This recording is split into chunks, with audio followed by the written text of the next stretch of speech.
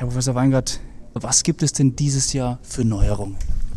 Wir haben dieses Jahr zwei Hauptthemen ausgewählt. Die orthognate Chirurgie, das bedeutet die Chirurgie von Fehlbissen und die Chirurgie von Patienten, die Implantate benötigen, aber da eine schwierige Ausgangssituation haben. Sie haben gesagt, schwierige Ausgangssituation. Was heißt das genau?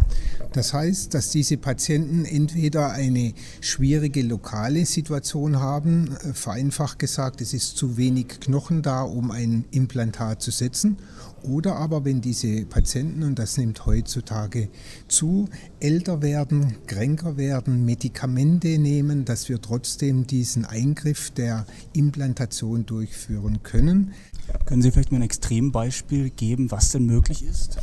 Möglich ist es heute am Computer eine Fehlbissstellung zu korrigieren mit extremer Oberkieferrücklage, extremer Unterkiefervorlage. Wir können in beiden Kiefern gleichzeitig in einer Operation operieren und diese Situation nachher so verbessern, dass der Patient unmittelbar nach der Operation den Mund wieder öffnen kann und wieder trinken, weiche Speisen essen kann. In früheren Zeiten waren diese Patienten für sechs Wochen verschnürt mit Drähten und mussten diese Zeit auch stationär bleiben. Heute ist das ein standardisierter Prozess und die Patienten werden am vierten Tag wieder entlassen. Patienten sind ja auch heute da. An was leiden denn diese Patienten spezifisch? Es sind heute Patienten da, die zum einen Fehlbisse haben, die äh, Fehlbisse haben, äh, verursacht durch äh, hormonbildende Tumoren, Fehlbisse, die verursacht sind auf einfacher Basis, teilweise durch Fehlfunktionen.